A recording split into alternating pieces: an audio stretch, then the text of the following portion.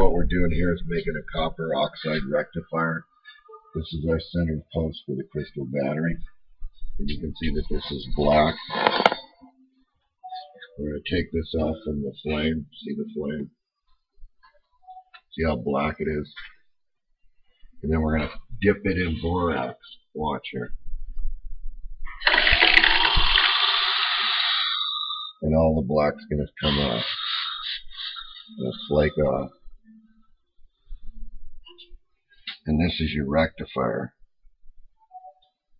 Is right underneath this.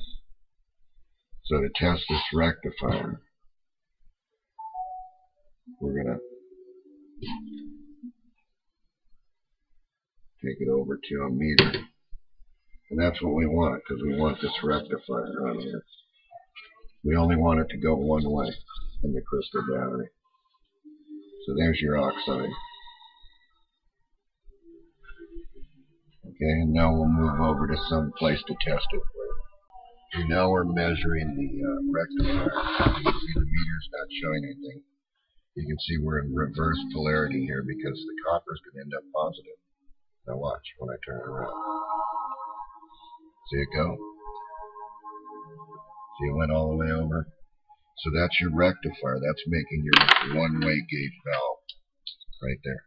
Now, we scrape this. We can check it with this oscillator right here. Take a little piece of paper. Set it on there. Just check it. And that's alum water.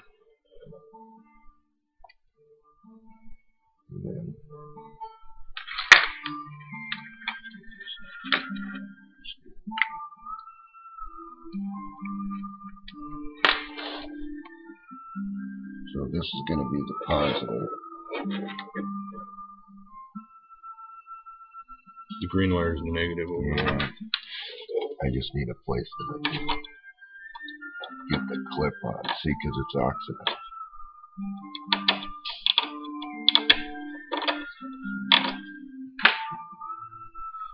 Okay, so this is your positive.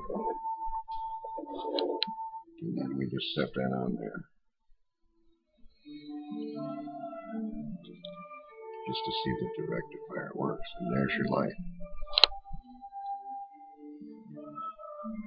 See? So it's only going to go one way here. On this device. So that's how you make the positive post for the semiconductor battery. And that's semiconductor. All, all this right here. And we'll clean it off a little bit better before we put it in the cell. Thanks. Thanks, everybody.